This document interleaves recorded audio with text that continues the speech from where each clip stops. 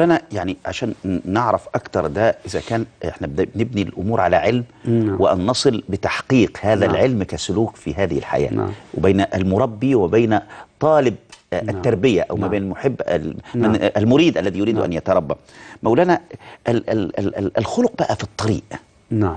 يعني عند عند عند عند السادة العارفين وعند نعم. علمائنا وعند مشايخنا.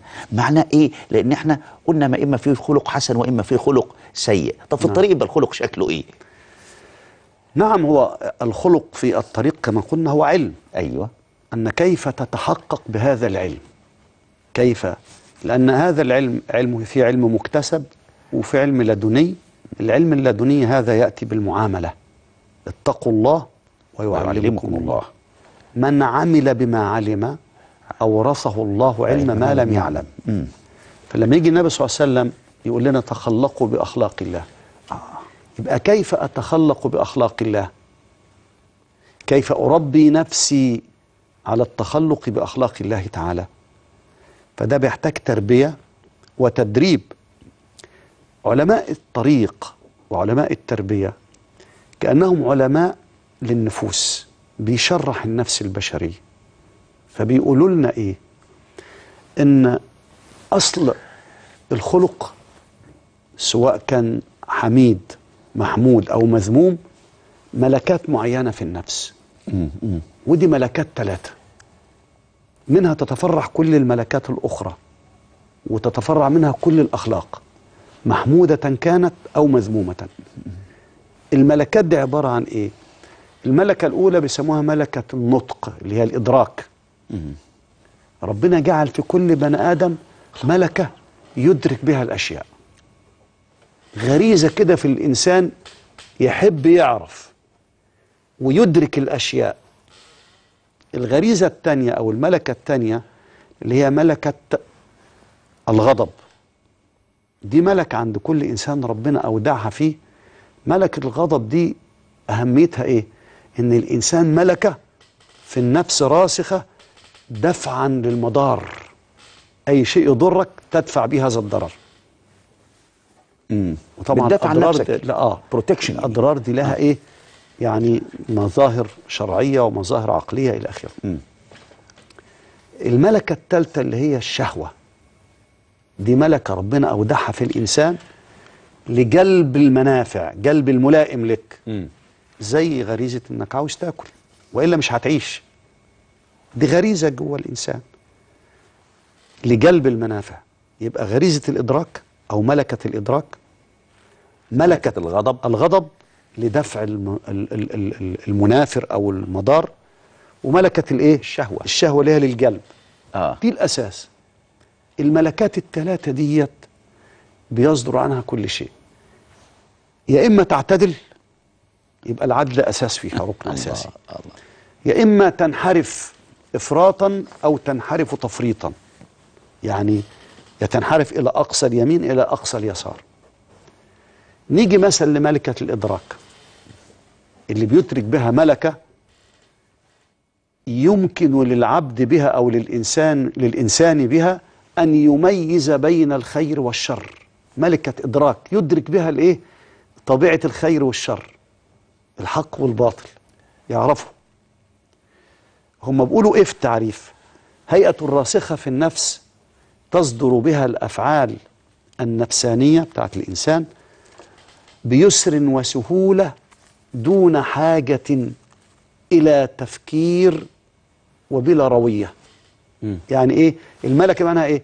إن طبيعة كده بتخلي الإنسان يعني يدرك أو أفعاله تبقى صادرة بيسر وبسهولة بدون تفكير وب- وبدون روية. بنسميها التلقائية مولانا. تلقائية الله يفتح عليك. الحاجة التلقائية. تلقائية. أيوة. تلاقي الإنسان الكريم بطبيعته إيده تمتد للكرم بسهولة. تلاقي قلبه في سماحة بسهولة.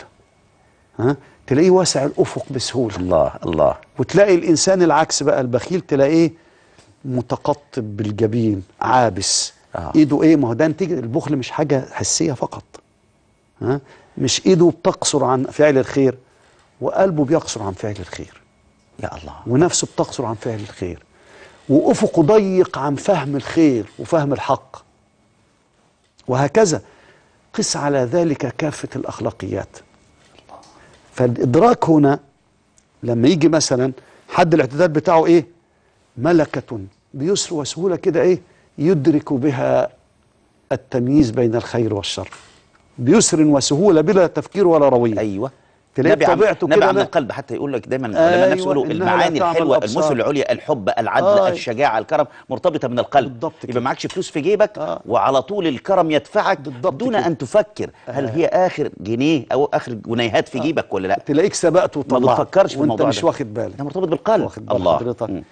ف لكن إذا أفرط يقوم يبقى الإدراك ده بيسموه إيه بيبقى طه... بيبقى نوع من الايه؟ الجرأة والتطاول. على الغيب بأدوات الشهادة. إزاي؟ يعني بيتطلع إلى معرفة الغيب بالأدوات العقلية البسيطة بتاعت علم الشهادة أو عالم الشهادة. زي الفلاسفة. يحاول إدراك الغيب والحق جل وعلا بس بأدوات الشهادة يتطلع إلى الغيب بس بأدوات الشهادة. زي مثلا يدخل في المتشابهات. الفلاسفة عشان كده الإمام الغزالي كتب تهافت الفلاسفة. يدخل في هذا الغيب بإيه؟ في الغيبيات. في الغيب بس بإيه؟ بأدوات لا تتفق مع هذا العالم. صحيح، صحيح، لأن ولذلك لما جه الإمام الغزالي تكلم عن إن إزاي القلب هو المؤهل لإدراك الغيب. صحيح صحيح. واخد بال سيادتك؟ آه صحيح إحنا بنستدل على وجود الحق. بالعقل. بالآثار اللي إحنا كنا نعرفها. بالآثار. آه. ده حاجة تانية. لكن ده بيتطاول ويتجرأ على الغيب زي المتشابهات زي القدر بأدوات الشهادة فينحرف ويضل يضل ويضل. آه? زي بقى يقول لك ال- الفلاسفة لما يقولوا قدم العالم. حاجات يعني معينة. موضوعات موضوعات آه. يعني ممكن آه. يعني مش معقولة إن أنا أعمل عملية لمريض بأدوات هندسية بالضبط ببني. بيها بيت آه، بالضبط هي دي المشكلة يعني أيوة. اختلفت الأدوات مع يعني في في موقف آه. لا يصح فيه استخدام هذه الأداة أيوة. آه. والتفريط ها اللي هي البلادة هي لا يستطيع أن يميز الملكة بتاعته لا تسمح له بالتمييز بين الخير والشر بليد واخد بال حضرتك تيجي للملكة الثانية وهي الشهوة اللي بتصدر عنها آه، أو الغضب اللي بتصدر عنها هذه الأفعال. الغضب حد اعتداله الشجاعة وهو الإقدام في المواطن التي يجب فيها الإقدام والإحجام في المواطن التي يجب فيها الإحجام. فإن أفرط يبقى ده التهور أيوه. وإن فرط يبقى ده الجبن. التهور هو ال- الإقدام في المواطن التي لا يجب فيها الإقدام. ما يجبش يقدم في الموطن ده ولا يبقى تهور. واحد يبقى قائد في مع... في في مو... جيش ويخدم في موطن لا يجوز. وإن أحجم في موقف يتطلب الإقدام أصبح جبنا. جبنا. آه. نعم. ودي الفضيلة دي, دي اللي بيسموها طب- طبعا الفضيلة دايما وسط بين رذيلتين. بين بالضبط كده. آه. الرذيلة الثانية في عكس بقى إيه؟ آه. ال- اللي هي إيه؟ الجبن. يبقى تهور أو جبن. تيجي للشهوة. حد اعتدالها العفة. فلما يفرط يبقى الفجور. لما يفرط الخمود. غير قادر على استيفاء الضرورات. فدي الأساس بتاع الإيه؟ الملكات الثلاث اللي منها تفرع كل الأخلاقيات. ليه؟ لأن اللي بيضبط هذه ال- ال- الملكات العلم والجود والصبر آه يبقى عندنا ثلاث ملكات عشان نعم. يبقى الساده المشاهدين نعم. التصور يعني ال- التخطيط ال- ال- نعم. بال- بالورقة والقلم كده في الإنسان. ثلاث ملكات نعم. ملكة الإدراك الإدراك ملكة الغضب نعم. ملكة الشهوة نعم. الضابط بتاعهم من إيه بقى يا مولانا الضابط بتاعهم الثلاثة اللي حضرتك قلتهم دلوقتي إيه الضابط بتاعهم عندنا أو الأركان الرئيسية آه. اللي هو العلم أيوه الجود الصبر العلم ليه أيوه لأن بدون العلم كيف تعرف أو تميز؟ لأن هو الأخلاق. الأخلاق الحسنة قالوا معناها إيه؟ الجماعة الدراويش الصوفية بقى. ها؟ بس الدرويش بالمعنى الصحيح مش بالمعنى اللي هو طبعاً، متدارج طبعاً. عند الناس. بيقولوا هو إيه؟ حسن الخلق هو إيه؟ كف الأذى وبذل الندى وزاد بعضهم قال إيه؟ وتحمل ها؟ الأذى? ورمي الدنيا بالقفا. آه يعني لكن- خليها ورا خليها ورا ورا آه، ظهرك. ورا ظهرك ما يعني. تبقاش قدام عينيك. لكن بذل الندى وكف الأذى. بذل الندى بذل الخير. الله. بذل المعروف. وكف الأذى تكف الشر. شرك عن الناس. بتتلخص يعني محور الأخلاق الحسنة في هذا الأمر. طب كيف تبذل الندى دون العلم بما هو الندى؟ ما هو المعروف الذي يجب أن تبذله؟ وكيف تكف الأذى دون أن تعلم ما هو الأذى الذي يجب أنك أنت تتوقف عنه؟ يبقى بذل الندى وكف الأذى. تحمل الأذى من الناس ده من ضمن هذه الأخلاق. ليه؟ لأن لما سيدنا لما آه، آه، آه، نزل قوله تعالى وأمر بالعرف. خذ العفو. وأمر بالعرف وأمر وأعرض عن الجاهلين. وأعرض عن الجاهلين. فقال النبي صلى الله عليه وسلم لسيدنا جبريل ما هذا؟ قال حتى أسأل ربي. فراح سأل ربنا. فلما سأل ربنا سبحانه وتعالى قال له إيه؟